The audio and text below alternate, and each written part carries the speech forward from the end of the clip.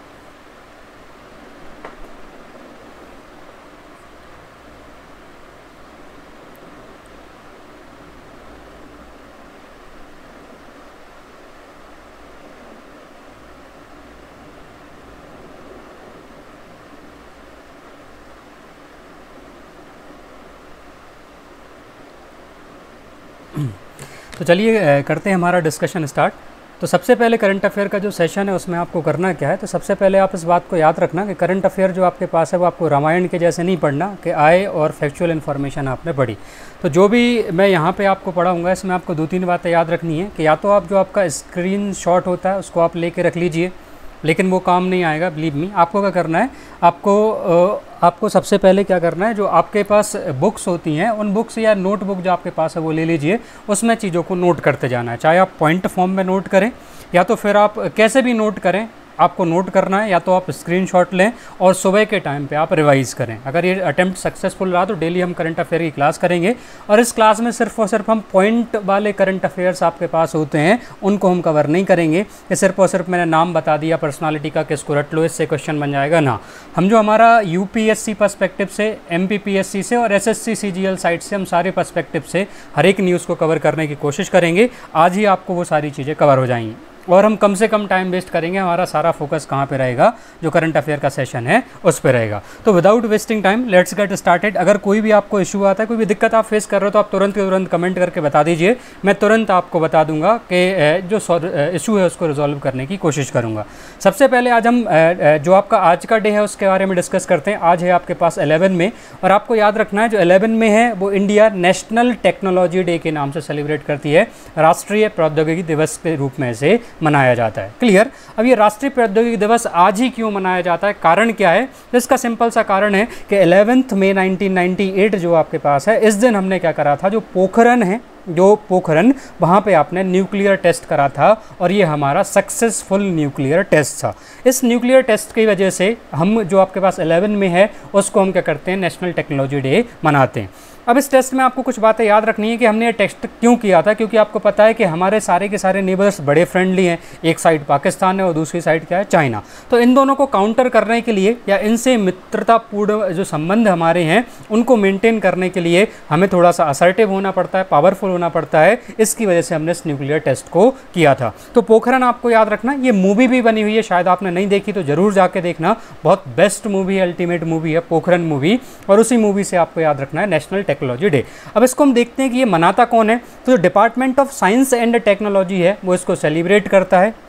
और ये department of science and technology direct autonomous organisation है, जो कि हमारे प्राइम मिनिस्टर ऑफ़िस के अंदर में आता है क्लियर अब इसके बाद हम बोलते हैं कि जो न्यूक्लियर जो आपके पास आपने एक्सपेरिमेंट यहाँ पे किया था पोखरन में, इससे पहले भी हमारे यहाँ एक्सपेरिमेंट हो चुका था स्माइलिंग बुद्धा नाम से। खैर, हम उसकी बात नहीं कर रहे, वो हमने बंद कर दिया था प्रेशर में, बाद में जाके हमने इसे सक्सेसफुल करा था। और इंडिया में हम बात करते हैं कि इंडिया में जो न्यूक्लियर फिजिक्स है, उसका फादर किसे माना जाता है? तो डॉक्टर होमो जहांगीर भाभा को हमेशा याद रखना। इनको जितने भी न्यूक्लियर एक्सपेरिमेंट होते हैं भारत में, उनका पिता माना जाता है। तो ये सारी की सारी बातें आपको याद रखनी है। डॉक्टर होमो जहांगीर भाभा के बारे में आपको याद रखना है, क्लियर। और department of science and technology के बारे में आपको याद रखना है, और नेशनल टेक्नोलॉजी डे के बारे में याद रखना है। ये सारी की सारी बातें और पोखरन को याद रखना है। ये मूवी ज़रूर आपको देखनी है। ये हो गई आज की हमारी न्यूज़ नंबर वन। क्लियर? अब उसका हम जाके देखते हैं। जो न्यूज़ नंबर सेकंड आपके पास है न्यूज़ नंबर सेकंड में आपको क्या याद रखना है कि यहाँ पे अगर आप जाओगे तो आपको पता होगा कि भारत और पाकिस्तान 1947 में हमें अलग कर दिया था, शायद आपको याद होगा, पार्टीशन के टाइम पे, जो माउंट वेटन प्लान आया था उसके टाइम पे। लेकिन इसमें दिक्कत ये हो गई कि भारत और पाकिस्तान को जोग्राफिकली ऐसा बनाया गया था कि वो सेपरेट हो ही नहीं सकते थे, लेकिन फिर भी रेड क्लिफ नाम की बाउंड्री सर जो रेड क्लिफ है, उनको नियुक्त किया गया और भारत पाकिस्तान को अलग कर दिया। और जब पाकिस्तान को अलग कर दिया तो हमारे रिसोर्सेज का भी बंटवारा होना था और इसमें सबसे बड़ा जो कॉन्ट्रोवर्शियल रिसोर्स था, वो था वाटर रिसोर्स क्लियर जो हमारा पानी है, वो सबसे बड़ा कॉन्ट्रोवर्शियल रिसोर्स था उसको कैसे विभाजित करें, ये हमें फॉर्मूला नहीं मिल रहा था। 1947 से 1960 तक हम इसके लिए लड़ते रहे कि हम जो हमारा वाटर है वो कैसे डिवाइड करेंगे। तो आपको याद रखना है, इसके लिए 1960 में हमने एक कमीशन बनाई जो वर्ल्ड बैंक की अध्यक्षता में, और इस कमीशन ने हमारे पास क्या किया, एक ट्रिटी को साइन किया, जिस ट्रिटी का नाम था इंडस वाटर ट्रिटी आज ये फिर से न्यूज़ में आई, कारण क्या है? क्योंकि अभी अभी पाकिस्तान के जो उच्च आयुक्त हैं, उन्होंने भारत से शिकायत करी थी कि जो चिनाब नदी है, उसका जो वाटर इंडिया को जितना डिस्पैच करना चाहिए था, उतना इंडिया वाटर डिस्पैच नहीं कर रहा। मतलब पाकिस्तान को इतना ज़्यादा पानी नहीं मिल रहा। ये कल की न्यूज़ में था तो अपने आप में ये जो न्यूज़ है, उसको हम रिलेट करके देखते हैं हमारे हिस्टोरिकल कंटेक्स से कि कैसे ये जो न्यूज़ है, वो हमारे क्वेश्चन को बना सकती है और पास्ट से कैसे क्वेश्चन बन सकते हैं। ये मे भी सीधा का सीधा क्वेश्चन आपको कभी देखने को नहीं मिलेगा कि चुनाव के वाटर के लिए वो भीख मांगती हुई आ गए इंडिया के पास कि आपने हमारे साथ अच्छा नहीं किया, ये तो बेवफाई है। लेकिन हम जाके देखते हैं कि क्वेश्चन कैसा बनता है। तो क्वेश्चन कैसा बनेगा कि ये किस बेसिस पे बंदा बोल रहा है कि हमें पानी की ज़रूरत है, आपको देना चाहिए था, लेकिन आपने पानी नहीं दिया। तो ये बेसिस आपके पास क्या होंगे? इन बेसिस को हम समझने की कोशिश कर रहे हैं इंडस वाटर ट्रिटी से। अब जैसे इंडस वाटर ट्रिटी के पास आप जाते हो तो ये जो इंडस वाटर ट्रिटी है, ये कब साइन हुई थी? 1960 में। और इस ट्रिटी को समझने से पहले आपको कुछ बातें और समझनी चाहिए। वो कौन सी बातें कि इंडस सिस्टम है, उसको हम समझ लेते हैं। जो हमारा इंडस वाटर सिस्टम है, इसमें काफ़ी सारी नदियाँ आती हैं। टोटल सात नदी होती है। पहली जो इंडस नदी है, ये आपके पास कहाँ से निकलती है? ये जो तिब्बत है, वहाँ से निकलती है। इंडिया में एंटर करती है। एंटर करने के बाद पाकिस्तान में जाती है। और पाकिस्तान के बाद सीधी की सीधी ये कहाँ पर चली जाती है? हैदराबाद के बाद अरेबियन सी में चली जाती है। अब इसके कुछ ट्रिब्यूटरीज हैं। ट्रिब्यूटरीज में सबसे पहले जो ट्रिब्यूटरी है वो झीलम, इंडिया से ओरिजिनेट होती है। उसके बाद दूसरी ट्रिब्यूटरी है चेनाब। उसके बाद अगर आप जाओगे तो राबी। उसके बाद जो ट्रिब्यूटरी है वो ब्यास है और उसके बाद कौन सी है? सतलज। तो ये जो आपके पास एक, दो, तीन, चार, पाँच, ये जो आपके पास पाँच ट्रिब्यूटरीज हैं, इनको हम क्या बोलते हैं? पंच नद भी बोलते हैं, याद रखना। और इन्हीं पाँच नद, जो ट्रिब्यूटरीज हैं, इनके बीच वाला जो पार्ट होता है उसको हम क्या बोलते हैं? पंजाब भी बोलते हैं। तो Punjab modern state of Punjab आपको हमेशा याद रखना है। अब यहाँ से बोन ऑफ़ कंटेंशन कहाँ से ओरिजिनेट हुई है? जो आपकी चेनाब नदी है, वहाँ से। अब इस चेनाब नदी को हम देख लेते हैं। ये चेनाब नदी आपके पास यहाँ पे चंद्र और भागा नाम की दो स्ट्रीम से ओरिजिनेट होती है, हिमाचल प्रदेश से ओरिजिनेट होती है और बाद में जाके ये कहाँ पे जाती है? पाकिस्तान और पाकिस्तान में जाके इंडस में मिल जाती है। इस नदी से आपकी कंप्लेन आई हुई है। अब पहले हम देखते हैं कि इसका वाटर कैसे डिवाइड होता है। ये तो आपके पास हो गया इंडस ड्रेनेज सिस्टम अब इस ड्रेनेज सिस्टम का जो वाटर है, वो डिवाइड किस बेसिस पे होता है? तो इस वाटर के डिवाइड होने के बेसिस को हम देख लेते हैं। इसका बेसिस सिंपल सा है। नाइनटीन में वर्ल्ड बैंक की मीडिएशन में एक ट्रिटी साइन हुई, एक संधि हमने साइन करी। इस संधि के अनुसार जो भारत और पाकिस्तान है, उनके बीच तीन तीन नदियों का विभाजन हो गया। क्लियर तीन नदियाँ कौन सी थी? पाकिस्तान को वेस्टर्न फ्लोइंग रिवर्स दे दी गई। कौन कौन सी रिवर्स है उसमें? इंडस झेलम और चिनाब को दे दिया गया। क्लियर किस किस को दिया दे दिया गया? इंडस को झेलम को और चिनाब को दे दिया गया। और भारत के हिस्से में कौन कौन सी आई? राबी आई, ब्यास आई और सतलज जो है, ये तीन की तीन नदियाँ भारत के हिस्से में आई। क्लियर तो जब ये हिस्से में आई तो अब आप यहाँ पे आके देख रहे हो कि चिनाब ही क्यों इन्होंने आपत्ति जताई? क्योंकि चिनाब किन के हिस्से में थी? इनके हिस्से में थी। क्लियर लेकिन भारत ने डिनाई कर दिया। भारत ने क्या बोल दिया? कि ये लोग फालतू की बातें कर रहे हैं। इनके पास कोई जो आपके पास तथ्य नहीं है, अगर इनके पास तथ्य होते तो हमारे पास रखो। हम तो ऑलरेडी सारे का सारा पानी डिस्पैच कर रहे हैं। क्लियर तो ये फालतू की कॉन्ट्रोवर्सी थी। लेकिन इससे क्या हुआ? हमारा क्वेश्चन बन सकता है what is Indus water treaty कब ये साइन हुई थी? और कौन कौन सी नदियाँ इसके अंदर में आती हैं? ये बेस आपको हमेशा हमेशा याद रखना है। अब हम ये भी देख लेते हैं कुछ इंपोर्टेंट परियोजनाएँ कि भारत में ये जो तीन नदियाँ हैं इन तीन नदियों में जो आपके पास कौन कौन से बाँध बंधे हुए हैं तो जो सतलज नदी आपके पास है इस पर भाकड़ा नागल नाम का डैम बना हुआ है जो ब्यास नदी है उसमें पोंग नाम का डैल बन, डैम बना हुआ है और उसके बाद जो रावी नदी है उसमें थियन नाम का या जो रणजीत सागर नाम का डैम यहाँ पे बना हुआ है। क्लियर तो ये सारे के सारे डैम आपको याद रखने बड़े ही मोस्ट इंपोर्टेंट डैम है ड्रेनेज सिस्टम में और ये जो इंडस वाटर ट्रिटी है ये अपने आप में याद रखनी है। और हमेशा याद रखना, कभी अभी आपने देखा होगा अतवारा में, या जो आप जितने भी पाकिस्तान स्पॉन्सर्ड टेररिस्ट अटैक होते हैं, उन सारे अटैक्स में जो हमेशा एक बात होती है कि हमें इंडस वाटर ट्रिटी को हटा देना चाहिए, क्योंकि सारा का सारा पानी कहाँ से जाता है? भारत से पाकिस्तान की तरफ़, और ये कैसा है? सांप को दूध पिलाने के जैसा है। सांप हमेशा इंडिया को डसता रहता है। क्लियर? ये सारी की सारी बातें, हालाँकि आपको एग्ज़ाम में ऐसी बातें नहीं लिखनी, बट ये प्रैक्टिकल अंडरस्टैंडिंग आपको हमेशा रखनी है। इंडस वाटर ट्रिटी न्यूज़ में थी, ये कल की न्यूज़ आपके पास थी और आज और कल की दोनों की कलेक्टिव न्यूज़ आज हम डिस्कस कर रहे हैं। क्लियर अब हम चलते हैं नेक्स्ट न्यूज़ की तरफ़। नेक्स्ट न्यूज़ है कोविड 19 कोरोना वायरस और हम जितनी भी न्यूज़ डिस्कस करेंगे कोरोना वायरस से रिलेटेड सारी की सारी हैशटैग कोरोना वायरस में हम डाल देंगे ताकि आपको वो याद रहे। और कोरोना वायरस पे मैं ज़्यादा न्यूज़ डिस्कस नहीं करने वाला, वैसे ही आप इतने ज़्यादा खौफ में हो कि खौफ का भी आपने क्या कर लिया है, मज़ाक बना लिया है। अब हम यहाँ पर जाके देखते हैं कि न्यूज़ क्या है। तो आपने देखा होगा कोविड नाइन्टीन जैसे ही पॉपुलर हुआ, जब फॉक की तरह कोविड नाइन्टीन फैलने लगा और सिर्फ़ और सिर्फ़ यही चल रहा था तो हर एक कंट्री ने लॉकडाउन कर दिया। लॉकडाउन का मतलब क्या है? सारी की सारी पब्लिक ट्रांसपोर्टेशन फैसिलिटीज़ थी, उनको शटडाउन कर दिया गया और उनको शटडाउन करने के साथ साथ ही क्या हुआ? जितने भी लोग जहाँ पे थे, वो सारे के सारे फंसे रह गए। अब वहाँ पे, जहाँ पे वो फंसे थे, वहाँ पे इकोनॉमिक एक्टिविटी हो गई नील इसकी वजह से उनको सस्टेन करना बहुत ही डिफ़िकल्ट हो गया और उसके बाद भी ये लोग अपने घर वालों के साथ रहना चाहते हैं और खौफ में आ गया तो ये लोग क्या करना चाहते हैं? इंडिया वापस आना चाहते हैं। तो गवर्नमेंट ऑफ़ इंडिया ने दो स्कीम्स को लॉन्च कराया, दो योजनाओं को यहाँ पे लॉन्च किया है। दो कौन कौन सी योजना आपके पास है? पहला है Vande Bharat mission clear Vande Bharat mission नाम का एक मिशन लॉन्च करा है। ये किसने लॉन्च करा है? जो एयरपोर्ट अथॉरिटी ऑफ़ इंडिया, जो air aviation, civil aviation ministry है, उसने लॉन्च किया है। और ये ज़्यादा दूरी पे, जैसे आपकी यूरोपियन यूनियन में नॉर्थ अमेरिका, साउथ अमेरिका, इनसे इमिग्रेंट जितने भी आपके पास या भारतीय जितने भी थे, उनको वहाँ से निकालने के लिए। या तो वो टूरिस्ट हो सकते हैं या वर्किंग प्रोफेशनल हो सकते हैं, उनको इंडिया में लाने के लिए हमने कौन सा मिशन लॉन्च करा है? वंदे भारत। और इसी में आपको याद रखना है, इसका नेवल वेरियंट मतलब अगर ये एयरक्राफ्ट से आ रहे हैं तो वंदे भारत है और अगर ये नेवी से आ रहे हैं तो इनका नाम क्या है? ऑपरेशन समुद्र सेतु नाम का ऑपरेशन हमने रखा हुआ है। क्लियर? तो समुद्र सेतु अगर आया तो ये किससे आ रहे हैं आपकी? भारत की नेवी इनको लेके आ रही है। और अगर वंदे भारत है, इसका मतलब क्या है? जो आपके पास जो एरोप्लेन्स हैं, वो इनको लेके आ रहे हैं। तो ये दोनों का क्वेश्चन आपके पास बन सकता है कि ऑपरेशन समुद्र सेतु क्या है? एक और आपने सुना होगा, सेतु समुद्रम सुना होगा। तो ये बस वर्ड अगर इंटरचेंज मैंने कर दिए तो मीनिंग इंटरचेंज हो जाता है। सेतु समुद्रम आपके पास क्या था? कि यहाँ पे जो आपके पास इंडिया और श्रीलंका है, इनके बीच में जो राम सेतु था, उसको बचाने के लिए सेतु समुद्रम जो प्रोजेक्ट है, या सेतु समुद्रम प्रोजेक्ट से जो आपके पास बचाने के लिए आपके पास सुप्रीम कोर्ट में केस दायर करा गया था, वो भी अपने आप में एक क्वेश्चन है. क्लियर सेतु समुद्रम और समुद्र सेतु, ये दोनों दोनों अलग प्रोजेक्ट हैं, इनको आपको अच्छे से रट्टा मार लेना है, तुरंत लिख लो. क्लियर यहाँ पे कितनी फ्लाइट्स आई, कितने भारतीयों को लेके आए? बिल्कुल इरेलीवेंट है. बिल्कुल भी नहीं रटना आपने क्लियर लेकिन आपको रटना क्या है? किस किस से रिलेटेड है? और समुद्र सेतु और सेतु समुद्रम दोनों अलग प्रोजेक्ट हैं और इनका संबंध किससे है? कोरोना वायरस के जितने भी मरीज़ थे, उनको हमें मरीज़ नहीं सॉरी जितने जो आपके पास प्रवासी भारतीय हैं, उनको वापस लाना है। क्लियर अब इसके बाद आपको एक और बात याद रखनी है, जो कि इससे अलग ही कंटेक्स में है, लेकिन मैं आपको बताना चाहता हूँ कि भारत के काफ़ी सारे व्यक्ति हैं जो विदेशों में रहते हैं। अब आप बोलोगे,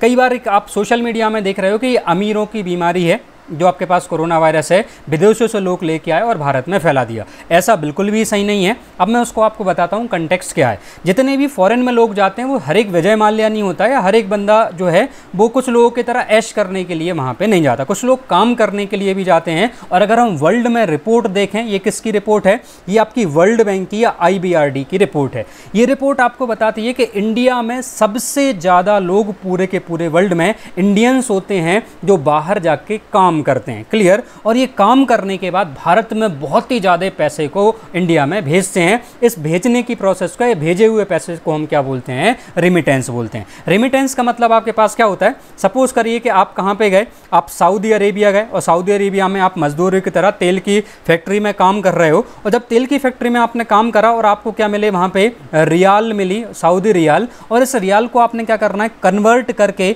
जिसको कहाँ पे भेज देना इंडिया में, क्योंकि इंडिया में आपका परिवार है आपका घर है और जब इंडिया में भेजोगे तो इस पैसे को हम क्या बोलते हैं? इस पैसे को रिमिटेंस कहा जाता है। और ऑल ओवर दी वर्ल्ड अगर हम देखते हैं, सबसे ज़्यादा रिमिटेंस किसको मिलता है? तो सबसे ज़्यादा रिमिटेंस इंडिया को मिलता है। इंडिया के बाद चाइना को, मैक्सिको, फिलीपींस को।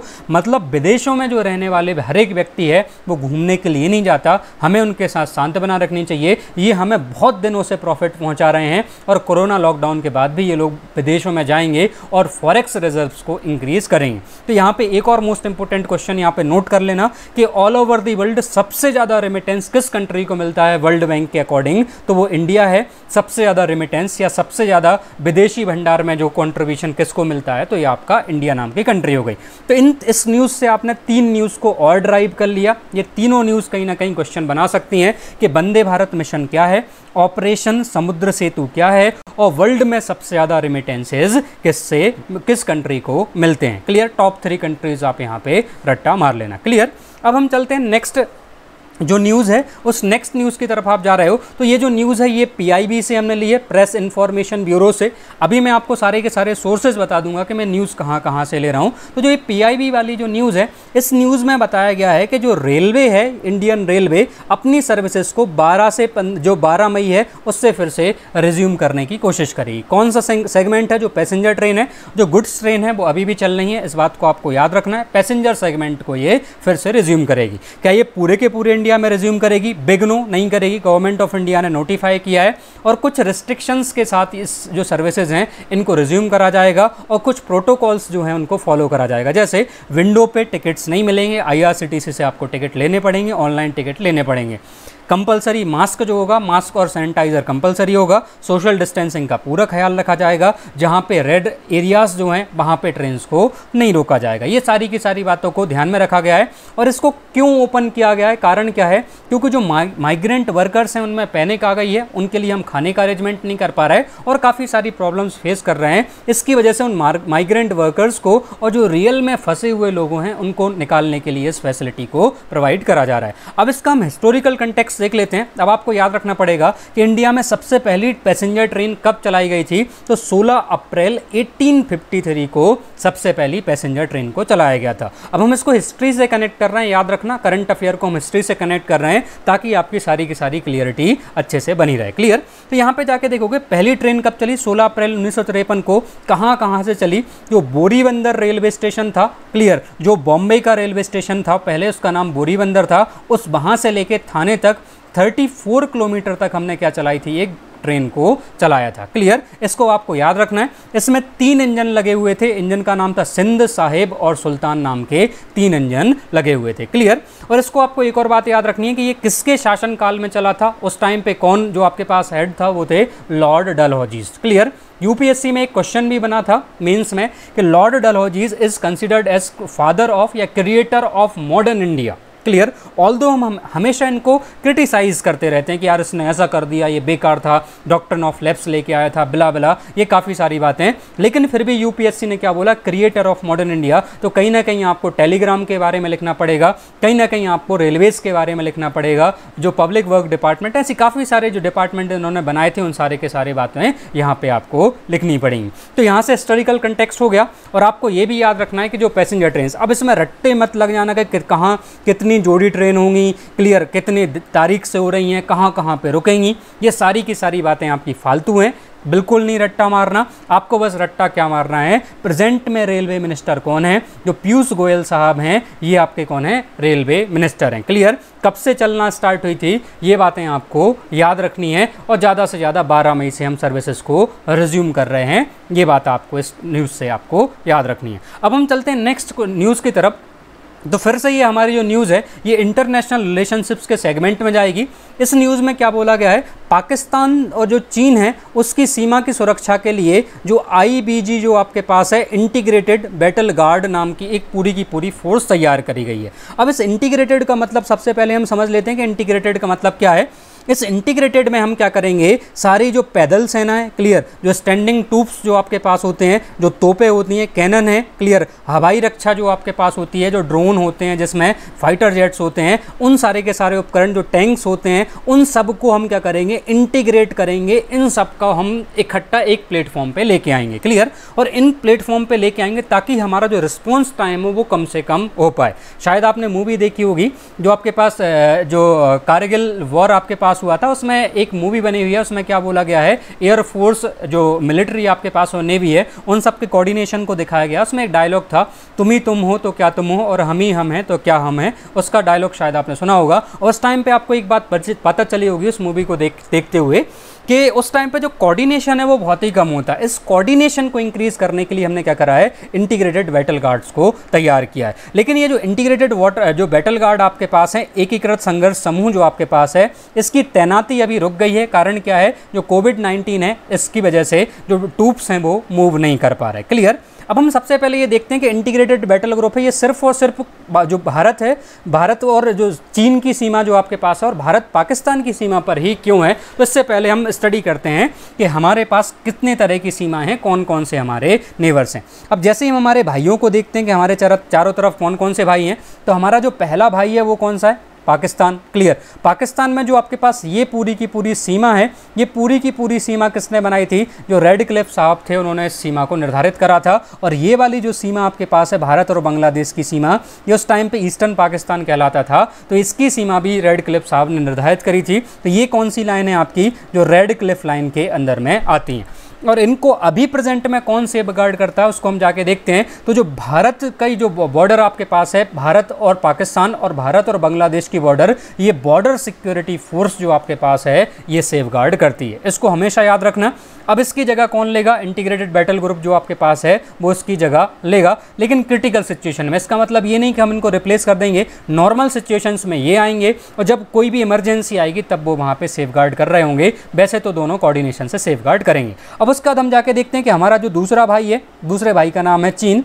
ये जो चीन है, इसकी बॉर्डर अगर आप यहाँ पे जाओगे, पहले तिब्बत था, तिब्बत को हत्या लिया गया। उसके बाद अगर हम यहाँ पे पहुँचते हैं तो यहाँ पे पहुँचने के बाद जैसे आप पहुँचे तो ये जो आपके पास है, ये पूरी की पूरी बॉर्डर आपके पास है, जैसे आप यहाँ पे पहुँचे, ये पूरी की पूरी बॉर्डर ये आती है चीन के पास, यहाँ पे सिक्किम और यहाँ पे अरुणाचल प्रदेश। इस बॉर्डर को सेफ़ करने के लिए इंडो तिब्बतियन बॉर्डर फोर्स है, उसका सहारा लिया जाता है। और ये भी कल, परसों की न्यूज़ में आपने देखा होगा कि जो इंडिया और चाइना है, इन दोनों के ट्रूप्स में क्या हो गया? लड़ाई हो गई, क्योंकि ये जो लाइन है वो एकदम क्लियर नहीं है। ये मैक मोहन लाइन के नाम से भी जानी जाती है। इस बात को आपको अच्छे से याद रखना है। अब चलते हैं नेक्स्ट की तरफ़। नेक्स्ट जो आपके पास है, ये है आपका नेपाल की बॉर्डर और यहाँ पर अगर आप आते हो तो ये है भूटान की बॉर्डर क्लियर नेपाल और भूटान की जो बॉर्डर है, इसको सशस्त्र सीमा बल है, ये गाइड करता है। क्लियर यहाँ पे कौन सा होता है? सशस्त्र सीमा बल जो आपके पास है। यहाँ पे अगर हम आते हैं तो यहाँ पे कौन सा हो गया? बीएसएफ हो गया। और और यहाँ पे अगर आप आए तो यहाँ पे आई टी बी पी यहाँ पे सेफ़ गार्ड करता है। इस बात को आपको अच्छे से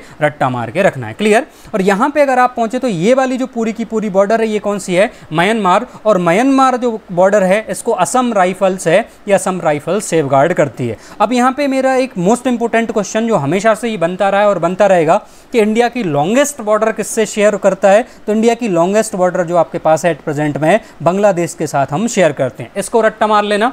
और अगर मेरे जैसा जैसा कोई बंदा क्वेश्चन बनाएगा तो मेरे जैसा बंदा अगर क्वेश्चन बनाएगा तो क्वेश्चन ये होगा कि इंडिया की लॉन्गेस्ट बॉर्डर किस कंट्री से इंडिया की लॉन्गेस्ट बॉर्डर बांग्लादेश नाम की कंट्री से शेयर होती है और इस बॉर्डर को सेफ़ गार्ड करने के लिए प्रेजेंट में किस फोर्स को तैनात किया गया? मतलब जो इन्फॉर्मेशन आप जानते हो, उस इन्फॉर्मेशन को मैं क्वेश्चन में ऑलरेडी दे दूँगा और मैं पूछूँगा क्या? उसके बाद तो आपको हमेशा याद रखना है कि इंडिया बांग्लादेश की बॉर्डर लॉन्गेस्ट है और इसको सेफ़ गार्ड कौन करता है? बीएसएफ तो ये सारी बातें आपको याद रख लेनी है आई याद रखनी है बीएसएफ याद रखनी है, सशस्त्र सीमा बल याद रखनी है। जब भी कोई भी नार्कोटिक्स जो आपके पास होता है ह्यूमन ट्रैफिकिंग होती है नेपाल से पूरस बॉर्डर की वजह से तो सशस्त्र सीमा बल क्या हो जाता है आपका न्यूज़ में आ जाता है। तो इसके बाद हम चलते हैं हमारी नेक्स्ट न्यूज़ की तरफ़। जो नेक्स्ट न्यूज़ है, उसमें ये दिखाया गया है कि चाँद पर यूरिया से बनाई जा सकती है, कंक्रीट यूरिया जो आपके पास है, उससे कंक्रीट बनाई जा सकती है। क्लियर? तो यूरिया है, आपके यहाँ पे जाके देखोगे जो कंक्रीट है, वो किससे बनाया जाता है? सीमेंट को मिला के बनाया जाता है। लेकिन चाँद का जो स्ट्रक्चर है, वो थोड़ा सा डिफ़िकल्ट डिफरेंट है और इस ट्रेन में सस्टेन करने के लिए, हमें कॉन्क्रीट बनाने के लिए जो आपके पास यूरिन है, उसको आपको ऐड करना पड़ेगा। क्लियर जो यूरिया जो आपके पास होता है यूरिन में यूरिया, उसके, उसको हम क्या कर सकते हैं? आपके पास यूज़ कर सकते हैं। क्लियर तो यहाँ पे आपको याद रखना है, ये न्यूज़ को मैंने क्यों पिकअप करा है? न्यूज़ में ये इंपॉर्टेंट नहीं है कि किससे हम कंक्रीट बना सकते हैं या कैसे आपके पास ये चीज़ें बन सकती हैं। इंपॉर्टेंट क्या है कि जो चाँद पर जाना इंसान का हमेशा से सपना रहा है। क्लियर ये सपना बहुत पहले से आपकी मम्मी भी आपको बोलती हैं, चंदा मामा, अब वो आपको मामा ही बना लिया। क्लियर तो इस पर जाना हमेशा से सपना रहा है और इससे पहले हम इसे क्या मानते थे? देवताओं के रूप में माना जाता था यूनान में। लेकिन इसकी जो स्टडी है, वो बहुत बाद में आपके पास स्टार्ट हुई और इसकी स्टडी को हम बोलते क्या है? साइंटिफिक स्टडी ऑफ़ मून को हम सेलेनोलॉजी बोलते हैं। मोस्ट इंपॉर्टेंट फैक्ट है, इसको याद रखना। और चाँद कोई भगवान नहीं है, इसको सबसे पहले सिद्ध करने के लिए अपोलो सेकंड सेकंड नाम का जो विमान था, वो 20 जुलाई 1969 को उतरा और नील आमस्ट्रॉन्ग जो आपके पास साहब थे, वो इस पर उतरे। और इस पर उतरने के साथ इन्होंने रिकॉर्ड बना लिया कि चाँद को इन्होंने प्रूफ कर दिया कि सिर्फ़ और सिर्फ़ सेलेस्ट्रियल ऑब्जेक्ट है। उसके बाद कैप्टन राकेश शर्मा गए और उसके बाद इंडिया एट प्रेजेंट में Chandrayaan one, Chandrayaan two launch कर चुका है। इन दोनों मिशन से ही इंडिया ये प्रूव करना चाहता था कि हम पे भी कैपेसिटी है कि हम भी चाँद तक इंसान को पहुँचा सकते हैं। लेकिन अभी वो पॉसिबल नहीं हो पाया। हमारा सेकंड चंद्रयान वो हंड्रेड परसेंट सक्सेसफुल नहीं रहा। था। खैर, अब दो तीन बातें आपको हमेशा याद रखनी है कि इंडिया जो आपके पास अर्थ है, उसका नेचुरल सैटेलाइट कौन सा है? मून है। क्लियर इसकी साइंटिफिक स्टडी कौन सी होती है? सेलेनोलॉजी होती है। सबसे पहले कौन उतरा था? नील आमस्ट्रॉन्ग उतरे थे। 20 जुलाई 1969 को उतरे थे। अपोलो सेकंड नाम के जो विमान है, उससे उतरे थे। और यहाँ पे कैप्टन राकेश शर्मा का नाम आपको याद रखना है। इंटर कनेक्शन जितना ज़्यादा करके चलोगे जो करंट अफेयर मिसलेनियस और जो आपके सब्जेक्ट्स हैं, उतनी ज़्यादा न्यूज़ आपको याद होती जाएँगी। ये फैक्ट आपको याद होते रहेंगे। अगर सारी चीज़ें अलग अलग पढ़ोगे तो याद रखना बड़ा डिफ़िकल्ट हो जाएगा। और यहाँ पे आप ये भी याद रख सकते हो वनडे एग्ज़ाम में सीधा का सीधा क्वेश्चन बन सकता है कि जो कंक्रीट है, उसको बनाने में, चाँद पर कंक्रीट बनाने में किसका प्रयोग किया जा सकता है। तो यूरिया का ये सारी बातें आपको याद रखनी है। क्लियर अब हम चलते हैं नेक्स्ट जो आपके पास न्यूज़ है, उस न्यूज़ की तरफ़। जो विशाखापट्टनम, वाइजैग है, वहाँ पर गैस ट्रेजिडी हुई है, शायद आपको पता होगा। क्लियर स्टायरीन नाम की जो गैस है, वो रिलीज़ हुई है। ये पाँच मार्क्स का क्वेश्चन आपका सीधा बना सकती है। इस बात को आपको याद रखना है। पाँच मार्क्स का क्वेश्चन क्लियर ये एलजी पॉलीमर प्लांट आपके पास था, वहाँ पे ये रिलीज़ हुई है। तो ये फैक्ट्री का नाम भी आपको याद रखना है। और उसके उसके बाद अगर हम बात याद कर, याद रखते हैं कि इसके अलग अदर नेम कौन कौन से हैं, और ये जो गैस है, ये कैसे इफेक्टेड इफेक्टेड इफ़ेक्ट करती है आपकी ह्यूमन बॉडी को, ये मेंस का क्वेश्चन है और प्रिलिम्स का क्वेश्चन कौन कौन से बन सकते हैं, वो दोनों के दोनों क्वेश्चन हम अभी डिस्कस करेंगे।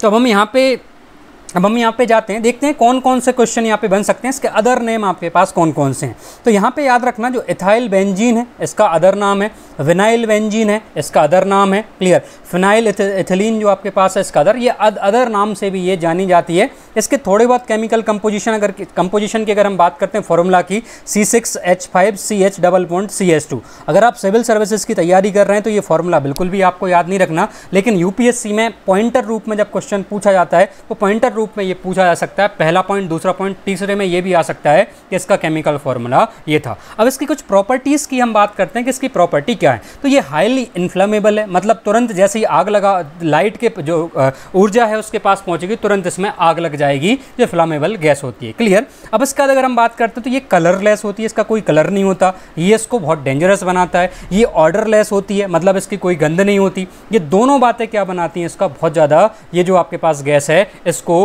बहुत ज़्यादा डेंजरस बनाती है। जैसे एलपीजी भी आपको पता होगा कि जो एलपीजी है, वो भी क्या होती है? कलरलेस होती है ऑर्डरलेस होती है और इसके डिटेक्शन को करने के लिए हमारे जो एलपीजी के सिलेंडर हैं, इसमें एक तत्व को मिलाया जाता है क्लियर एक सब्सटेंस को मिलाया जाता है। वो कौन सा सब्सटेंस है? जल्दी से आप मुझे कमेंट करके बताओ कि जो हमारी नॉर्मल एलपीजी गैस होती है, को वो घर में लीक कर रही है।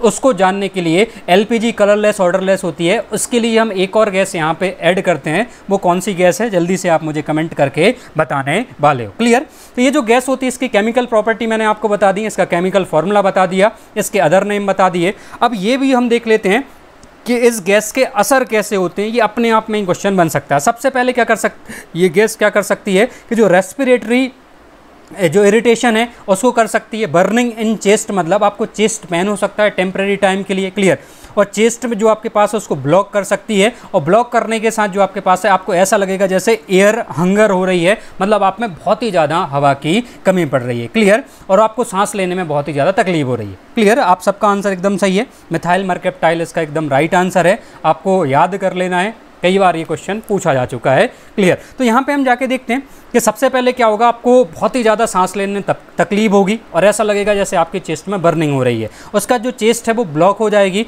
और उसके बाद आपको क्या लगेगा, जब भी आपकी जो ऑक्सीजन है कमी होती है आपकी बॉडी में तो हमारी सारी मसल्स एकदम एजिटेट करने लगती हैं और इनमें एनर्जी की बहुत ज़्यादा कमी हो जाती है। इसकी वजह से आपको क्या लगेगा? मसल वीकनेस आपको लगेगी। क्लियर और ऐसा लगेगा जैसे अब मैं पैरालिसिस आ रही है या अब मैं पूरा का पूरा क्या हो जाऊँगा? मेरे शरीर काम करना बंद कर रहा है। ये स्टेप तीन होती है। स्टेप फोर में अगर आप जाओगे तो आपको क्या लगेगा? फुल रेस्पिरेटरी पैरालिसिस मतलब आपको ऐसा लग रहा है जैसे बिल्कुल भी गैस नहीं मिल रही और इस गैस ना मिलने की वजह से हम धीरे के धीरे करके हम क्या होते जाएँगे? हाइवरनेट टाइप के होते जाएँगे। हमारे बॉडी पार्ट्स काम करना बंद कर देंगे। क्लियर और उसके बाद हम कहाँ पर आ जाएँगे? जो कॉमा स्टेट होती है, उस कॉमा में आ जाएँगे। मतलब अब आप सेमी मर चुके हो मतलब अब आपकी बॉडी बिल्कुल भी काम नहीं करेगी और इस टाइम पे अगर मैंने आपको मेडिकल असिस्टेंस नहीं दिया क्लियर ये क्रिटिकल टाइम है, इस टाइम पे मेडिकल असिस्टेंस आपको नहीं मिला तो आपकी डेथ भी हो सकती है, क्योंकि आपकी जो ऑक्सीजन है, उस ऑक्सीजन की आपको यहाँ पर कमी हो जाएगी। याद रखना इस बात की, ये छः की छः स्टेप रट लेना अगर आप मेंस की तैयारी कर रहे हो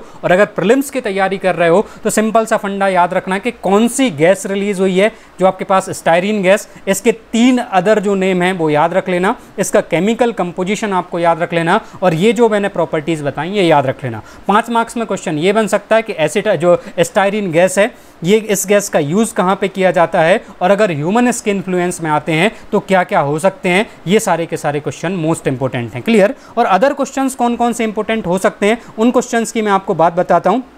क्लियर। और कौन कौन से क्वेश्चन आपके इंपॉर्टेंट हो सकते हैं? तो अपने आप जब भी ऐसी जो डिजास्टर होती है तो अपने आप भोपाल गैस ट्रेजेडी जो है, वो न्यूज़ में आ जाती है। इस भोपाल गैस ट्रेजेडी को हमें कभी भी नहीं भूलना। ये ट्रेजेडी कब हुई थी? दो दिसंबर उन्नीस सौ चौरासी, जो आपके पास है, दो से तीन दिसंबर 1984 रात में आपके पास हुई थी। कहाँ पे हुई थी? यूनियन कार्बाइड फैक्ट्री में हुई थी यूनियन कार्बाइड इंडिया लिमिटेड में। क्लियर किस नाम से जाना जाता है? जो आपके पास भोपाल गैस ट्रेजेडी है, इसके नाम से जाना जाता है। और इसमें जो गैस लीक हुई थी, वो कौन सी हुई थी? मिसाइल आइसो, मिथाइल आइसोसनेट नाम की गैस यहाँ से लीक हुई थी। क्लियर तो याद रखना डेज़ भी याद रखना। और इसके साथ फिर से मैं एक मूवी आपको गाइड कर रहा हूँ, क्योंकि मैंने अधिकतर चीज़ें मूवीज़ से ही सीखी हैं। प्रैक्टिकल एक एक्सपीरियंस है, अगर आपने मूवी नहीं देखी तो Bhopal a prayer for rain बहुत औसम मूवी है, तब आप समझोगे कि जो गैस लीक होती है, वो कितनी खतरनाक हो सकती है। और वहाँ से 1984 के बाद अब जो सबसे बड़ी गैस लीक की दुर्घटना भारत में हुई थी। 1984 के बाद ऐसी दुर्घटना बाद में,